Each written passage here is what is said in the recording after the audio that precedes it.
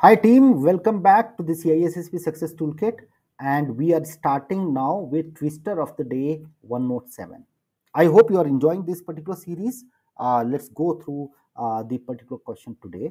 This particular question has been like pulled up from CISSP Objective 6.3, uh, sorry 6.5, which says conduct and facilitate audits.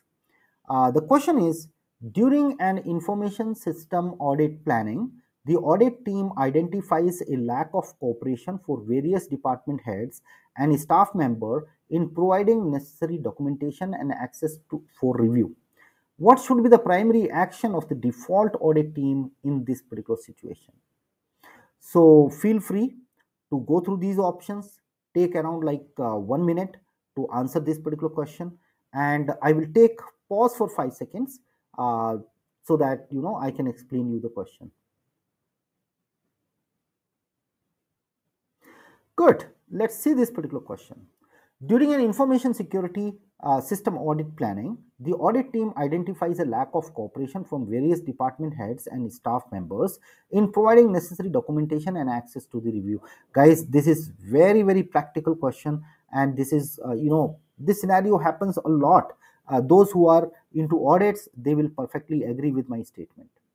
What should be the primary action of the audit team in this particular situation? Now, if you feel that the team is not cooperating with you and uh, you know some stakeholders are not cooperating with you they are delaying your process what should be done right? So that's the question. Proceed with the audit relying on available information without further engagement. Sir how can this happen? That means you are not fulfilling your duties properly. If you just proceed with the audit in such a situation it is not going to help you anyways right? This means this audit the overall quality of the audit is going to get reduced right? Uh, not engaging is at all not the way to go. So a cannot be the answer. We go to option number b which says report the lack of cooperation to senior management and suspend the audit until access is granted. Um, this looks very much likely uh, to me. But again report the lack of cooperation means uh, it is giving a kind of negative feel here. Uh, and even it's okay like if the team doesn't uh, help you overall definitely you don't you are left with no choice other than you know telling to the senior management. And it says the second portion says and suspend the audit. Uh, suspending the audit may be against the audit planning.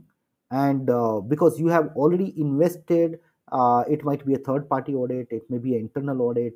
You have done all that process to conduct that particular audit and you're just suspending it just because of non-cooperation may not be a great thing to do. Uh, even though uh, this question is very closed and you may you know get tussled with that. So let's park it for now. We'll go to option number c and see uh, what is in there. Adjust the audit scope to exclude areas where where access is denied to expedite the audit process. This is a very common scenario can you every time go ahead and change your audit uh, scope? Changing your audit scope itself means the audit is not complete by itself. So that way i don't think c is anywhere close to being the answer. We'll go to option number d which says initiate discussion with senior management to address the barriers and request necessary cooperation. I think this is the most expected outcome or the immediate outcome uh, of this entire problem statement.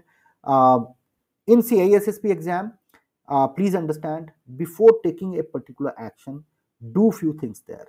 First thing, prioritize communication from, from a proper channel as per the company, whatever like procedure is there. So communication is going to be the first thing.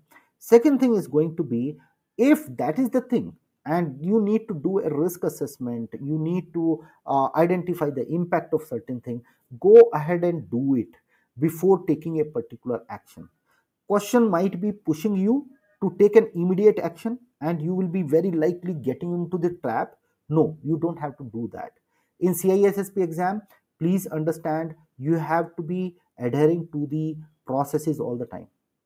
And if you take a immediate action before before conducting a root cause analysis before letting the required stakeholder know it is going to be a breach of the entire thing So that is a tip for your CISSP exam, uh, what you have to focus, right, all the time.